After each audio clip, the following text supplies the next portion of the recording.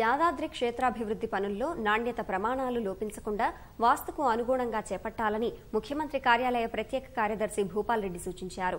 ఆలయ సందర్శనలో భాగంగా ప్రధానాలయంలో పసిడి వర్ణపు విద్యుత్ దీపాల అలంకరణ భక్త ప్రహ్లాద ప్యానెల్కు అమర్చిన దీపాలను పరిశీలించారు. ఇత్తడి దర్శన వరుసలను చూసి సంప్రదాయ హంగులతో మరింత మెరుగుపరచాలని సూచించారు. శివాలయం సాలహారాల్లో బిగించాల్సిన విగ్రహాల గురించి అధికారులతో చర్చించారు. అనంతరం పనుల పురోగతిపై అధికారులతో సమీక్ష అనంతరం బాలాలయంలో లక్ష్మీ నరసింహస్వామిని ఆయన దర్శించుకున్నారు.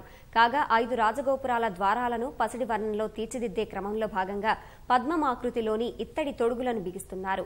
ఇప్పటికే ఆలయానికి ఉత్తర దక్షిణ దిశల్లో ఉన్న ద్వారాలకు ఇత్తడి కవచాలు బిగించగా తూర్పు రాజగోపురం టేకు ద్వారానికి బిగించే పనులను చేపట్టారు.